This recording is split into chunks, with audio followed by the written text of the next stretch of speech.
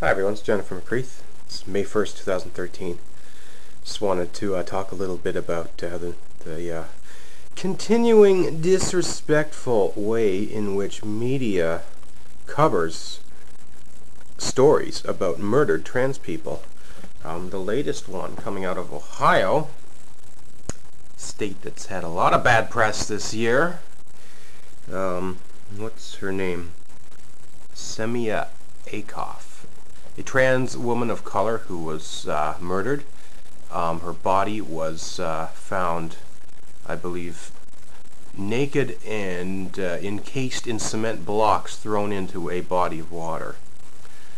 And, uh, however, uh, news entities reporting on the murder seemed more interested in victim blaming, um, taking note that uh, she at one point, I guess, was in trouble with the law for I guess, inappropriately having prescription medication, ironically enough, transgender hormones. Um, first of all, transgender people require hormones, and uh, it seems ridiculous that it would be illegal for a transgender person to possess hormones. Second of all, it's as if they're trying to dehumanize or discredit her life suggest that she deserved to die or suggest that she did not deserve to live. Um, you don't usually see that uh, when when murders are reported. Um, it's usually the accused who is labeled the bad guy.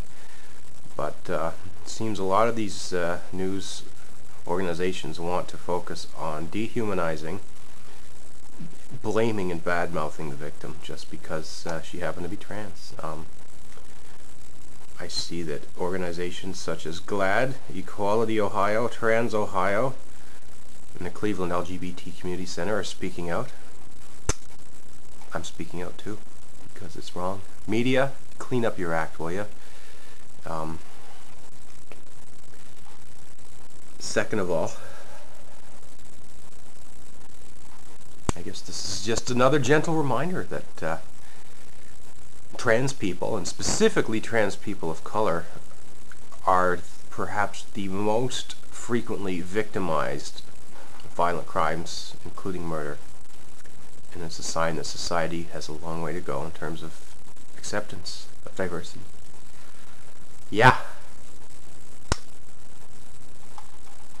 So if anyone in the media is watching this, I get it. Trans people are are we're a small minority, and I'll even admit that I've been guilty of perhaps using my status as a trans person to bring attention to issues that otherwise would not get attention. Ultimately, the best way to uh, promote acceptance of diversity is to do education and awareness of that diversity. And that's why I've gone out of my way to bring attention, not necessarily to me as a person, but to the good things I do. There's so many stories about trans people being bad people and that we can't function in society. So every time I can demonstrate that I actually can function in society, I think it's worthy of telling that story. I've held jobs, I've run marathons, I've taken up causes like animal rights. Uh, I've put together nonprofit organizations. I've done a lot of good things, as have many uh, trans people all over the world. And uh, let's knock on wood. Luckily, I've not been victimized. I've not been murdered yet. Um, if that were to happen, though, I really hope the media uh, would not try to point the finger and blame me. Um, murder's wrong, no matter who is, who's being murdered and there's absolutely no reason to be blaming the victim or bad-mouthing the victim here. Um, so yeah, um, there's my rant. Uh,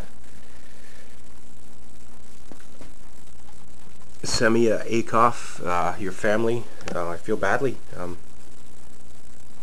you, you hate to read about murders, violent murders. Perhaps, we don't know, sexual assault was involved here. Um, naked body found dead. Um, it's just it's just disgusting that this is happening uh, in this world, and uh, this is a person, folks, uh, who has family and friends, or did have family and friends. They're obviously very upset, grieving, and uh, let's not forget that, folks.